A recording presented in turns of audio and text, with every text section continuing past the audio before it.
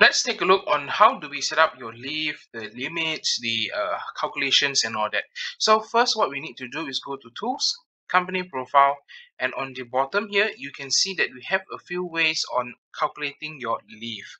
So first off we have a leave cutoff day. So leave cutoff day is basically used to have it to calculate when your employees join in when is the cutoff date that the system consider as a half month full month? So if for example you set to 15 days so any employees joining after the 15 days will not get a, a month of entitlement Next, we do have our leave calculation method. So we do have a few uh, ways, day, month inclusive and month proportional. So in order to understand a bit more, you can press this question mark and also we do provide a calculator.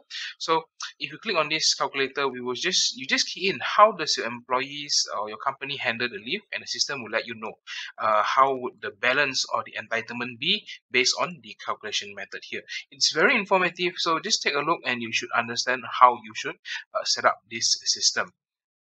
So basically, most of companies will be using month inclusive or months proportion, depending on your your company calculation ways.